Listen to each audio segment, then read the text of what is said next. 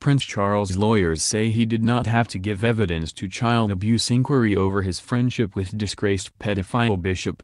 Lawyers for Prince Charles suggested he could not be compelled to give a statement regarding his friendship with a since-disgraced bishop, an inquiry has heard. The independent inquiry into child sexual abuse is examining how abuse allegations against former Church of England Bishop Peter Ball were handled. Ball, jailed in 2015 for sexually abusing 18 young men over 30 years, previously boasted of his links to royalty and was said to be a confidant of Charles, the heir to the throne's evidence to the inquiry, which was leaked to the media last week, will be read on Friday, in the form of a letter. During Monday's hearing a lawyer for some of Ball's victims said his clients were surprised and concerned at the format of the evidence. Richard Scorer said, We wish to register our surprise and concern that the prince has chosen to put his evidence to the inquiry in the form of a letter as opposed to a witness statement verified by a statement of truth in the normal way that survivors giving evidence to this inquiry have done. Mr. Scorer said concerns around Charles' letter include that it may be less than entirely frank about his personal relationship with Peter Ball and that it contains matters to which he is reluctant to attach a formal statement of truth.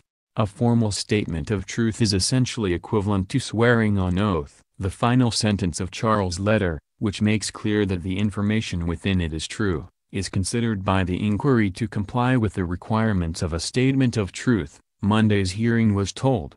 Counsel to the inquiry Fiona Scolding said there had been lengthy and extensive correspondence between Charles's lawyers and the inquiry.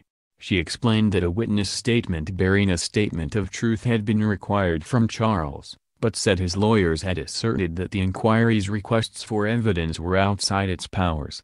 Ms. Scolding said submissions from his lawyers included a suggestion that the inquiry had no power to compel him to make a statement and that the inquiry was requesting his personal data which was intensely private and confidential.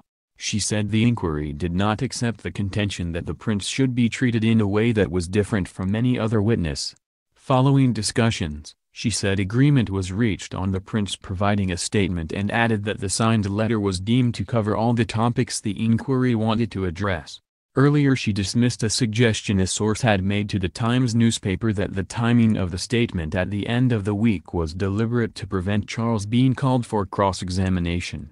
She said this could not be further from the truth. She said, there is no requirement for him, Charles, to attend in person as his evidence, whilst important, is not of central relevance to many of the issues raised by this case study. Ball accepted a caution for one count of gross indecency in 1993 and resigned due to ill health. It was reported last week that Charles' statement will say he was not aware of the significance of the caution when Ball mentioned it in a letter in 2009 and that he did not know until recently that a caution carries an acceptance of guilt.